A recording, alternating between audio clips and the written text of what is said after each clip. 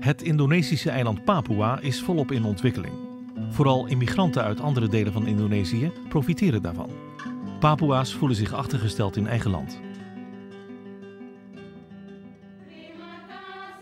Ruim 50 jaar geleden richtte de Evangelische Kerk van Papua het vormingscentrum P3W op om Papua-vrouwen onderwijs te geven, zodat ze een rol kunnen spelen in hun kerk en in hun samenleving.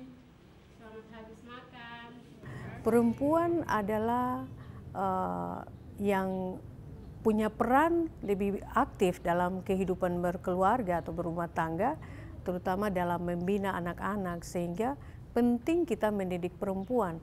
Karena di mana kita mendidik satu perempuan, uh, perempuan itu akan mendidik satu generasi. Vrouwen kunnen bij P3W een cursus diaconaal werk volgen van 9 maanden.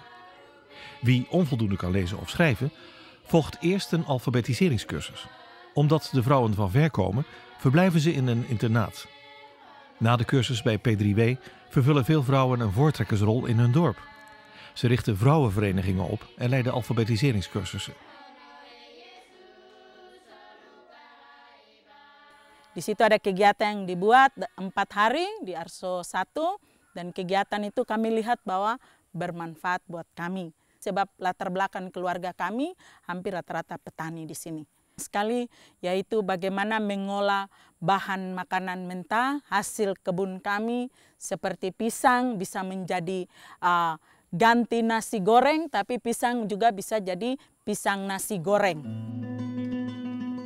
P3W krijgt inkomsten uit hun gastenverblijf en verhuur van de vergaderzaal. In de eigen winkel verkopen de vrouwen hun kunstnijverheid. De lima lembar ini kita uh, pasaran uh, biasanya uh, langsung saja di AC Pulau di depan sana.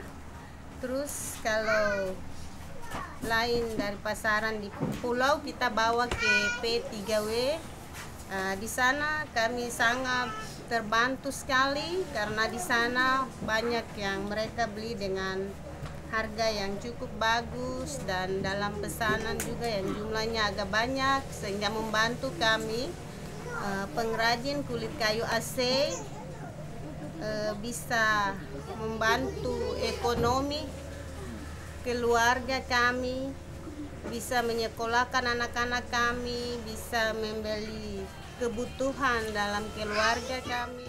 Terima kasih untuk kerjasama ini. Mari kita terus menguatkan perempuan sehingga mereka kuat dan menolong perempuan yang lain dan juga masyarakat.